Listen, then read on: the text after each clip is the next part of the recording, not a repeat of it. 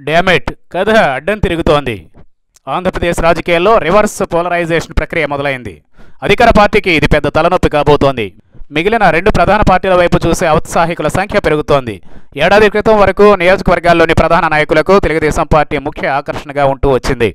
ఇరవై మందికి పైగా వైసీపీ ఎమ్మెల్యేలను గూటిలోకి తెచ్చుకుని వారిలో నలుగురికి మంత్రి పదవులు సైతం కట్టబెట్టింది టీడీపీ. వైసీపీలో ఇన్ఛార్జ్ స్థాయి నాయకులను సైతం భారీగానే ఆకర్షించగలిగింది. అసెంబ్లీ సీట్ల సంఖ్య పెరుగుతుందని భరోసానిస్తూ ఇబ్బడి ముబ్బడిగా ఫిరాయింపులను ప్రోత్సహించింది. వైసీపీని బలహీనపరచడమే లక్ష్యంగా సామధాన భేదోపాయాలన్నింటినీ ప్రయోగించింది. రెండేళ్ళ పాటు సాగిన ఆకర్షణ మంత్రంలో చాలామంది పడిపోయారు. ఇప్పుడిప్పుడే పార్టీలు ఫిరాయించిన వారికి వాస్తవం బోధపడుతోంది. ఎన్నికల గడువు దగ్గర పడుతూ ఉండడంతో అధికార పార్టీలో ఒక్కపోత మొదలైంది. తమకు సీట్లు వస్తాయో రావో తెలియని సందిగ్ధ పరిస్థితులు ఎదుర్కొంటున్న వారు పక్కదారులు చూస్తున్నారు. దీర్ఘకాలంగా పార్టీలో ఉన్నవారు ప్రత్యామ్నాయం వెతుక్కుంటున్నారు. రాజ్యసభ ఎన్నికలను ఏకపక్షం చేసుకుని మూడు స్థానాలను గెలుచుకోవాలని తెలుగుదేశం పార్టీ చాలా కాలంగా ప్రయత్నిస్తోంది. ఈ ఏడాది మార్చిలో జరిగిన ఎన్నికలలో ఆ ఆశ నెరవేరలేదు. వైసీపీ అభ్యర్థి వేమిరెడ్డి ప్రభాకర్ రెడ్డి రాజ్యసభలో అడుగుపెట్టారు. నిజానికి నలుగురు ఎమ్మెల్యేలను పట్టుకోగలిగితే చాలు.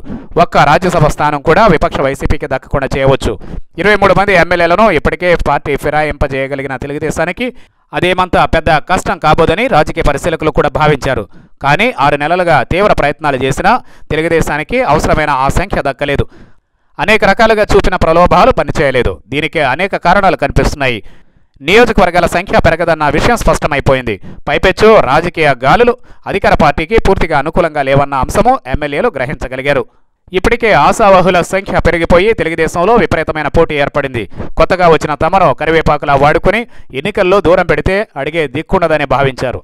దీంతో టీడీపీ ఆకర్షక మంత్రం పెద్దగా పనిచేయలేదు. మరోవైపు కేంద్రం కూడా శత్రుపక్షంగా మారిన పరిస్థితుల్లో టీడీపీకి రాజకీయ ఇబ్బందులు ఎదురవుతాయి. వీటన్నిటినీ పసిగట్టిన ఎమ్మెల్యేలు పార్టీ గోడ దూకడానికి ఇష్టపడలేదు.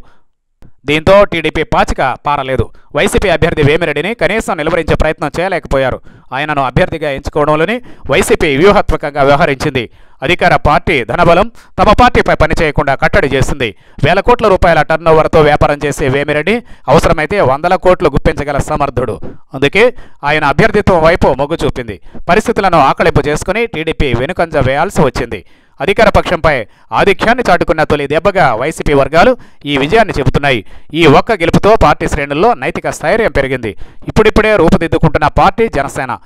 ముప్పై ఏళ్ళ తర్వాత కొత్త రాజకీయం రావాలనే నినాదం ఎత్తుకుంటోంది. వైసీపీని కొత్త రాజకీయ శక్తిగా ఎవరూ చూడడం లేదు. కాంగ్రెస్ రాజశేఖర రెడ్డిల కలబోతగానే ప్రజలు భావిస్తున్నారు. జనసేన ఇంకా ప్రధాన ప్రతిపక్ష స్థాయిని అందుకోలేదు. అందువల్ల రాయలసీమతో పాటు ప్రకాశం నెల్లూరు ఉత్తరాంధ్రలో వైసీపీ వైపు నియోజకవర్గాల్లోని పెద్ద నాయకులు దృష్టి సారిస్తున్నారు. టీడీపీలోని ఆరేడుగురు ఎమ్మెల్యేలు వైసీపీ నేతలతో సంప్రదింపులు జరిపినట్లు సమాచారం. గతంలో పార్టీ ఫిరాయించిన మరో ఐదుగురు ఎమ్మెల్యేలు టికెట్ల గ్యారంటీ ఇస్తే పూర్వాశ్రమంలోకి వచ్చేస్తామని మధ్యవర్తుల ద్వారా వైసీపీ అగ్రనాయకత్వంతో మంతనాలు జరుపుతున్నట్లు తెలిసింది. అయితే విశ్వాసరాహిత్యం అనేది ఇరుపక్షాలను వెన్నాడుతోంది కుప్పిగంతులు వేసిన ఎమ్మెల్యేలను తిరిగి చేరదీస్తే పార్టీలో తప్పుడు సంకేతాలు వెళతాయని జగన్ ఒకటి రెండు సందర్భాల్లో పెద్ద నాయకులతోనే అన్నట్లు వినికిడి.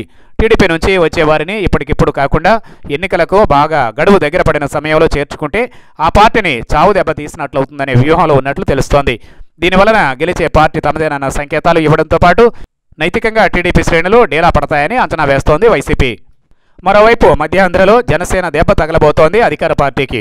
జనసేన అధినేత టికెట్ల గ్యారంటీ ఇస్తే పార్టీకి పనిచేస్తామంటూ ఆరుగురు అధికార పార్టీ ఎమ్మెల్యేలు పవన్ కళ్యాణ్కు అంతరంగికల ద్వారా ఓపెన్ ఆఫర్ ఇచ్చినట్లుగా ప్రచారం సాగుతోంది. ఉభయ గోదావరి విశాఖ జిల్లాలకు చెందిన ఎమ్మెల్యేలు ఇందులో ఉన్నారు. అయితే పవన్ కళ్యాణ్ ఏ విషయం తేల్చి చెప్పలేదంటున్నారు. కొత్త రాజకీయం కావాలంటూ పదే పదే చెబుతూ పాత సరుకును తెచ్చిపెట్టుకొని సాధించేదేమిటన్న శషబిషలు పార్టీలో కొనసాగుతున్నాయి. ఉభయ గోదావరి జిల్లాలో జనసేనకు అభ్యర్థుల కొరత లేదు. కోట్ల రూపాయలు వెచ్చించేందుకు చాలామంది సిద్ధంగానే ఉన్నారు. అయితే అనుభవం అంతంత మాత్రమే. పవన్ క్రేజ్ గ్లామర్ల మీద ఆధారపడే గెలవాల్సి ఉంటుంది. అదే ఇప్పటికే ఎమ్మెల్యేలుగా ఉన్నవారైతే ప్రజలతో పరిచయం ఉండడంతో గెలుపు సులభ సాధ్యమవుతుందనే మరో వాదన ఉంది. ఎమ్మెల్యేలు అన్న ముద్ర లేకపోయినా వైసీపీ టీడీపీల్లో ఉన్న స్వచ్ఛమైన ట్రాక్ రికార్డు కలిగిన నాయకులను తీసుకోవడానికి జనసేనకు అభ్యంతరం లేదని ఆ పార్టీ అధికార ప్రతినిధులు పలు సందర్భాల్లో పేర్కొంటున్నారు. పవన్ కళ్యాణ్ భేటీల్లో చెప్పిన విషయాల ఆధారంగానే వీరు ఆ మేరకు హామీ ఇస్తున్నారు. టికెట్ల కేటాయింపు విషయంలో మాత్రం జనసేనానిదే చివరి మాట. దీంతోనే కొంత తర్జన భర్జన పడుతున్నారు. మొత్తం మీద సీమ ఉత్తరాంధ్రల్లో వైసీపీకి కృష్ణా గుంటూరు తూర్పు పశ్చిమ గోదావరి జిల్లాల్లో జనసేనకు టీడీపీ నేతల తాకిడి తప్పకపోవచ్చు.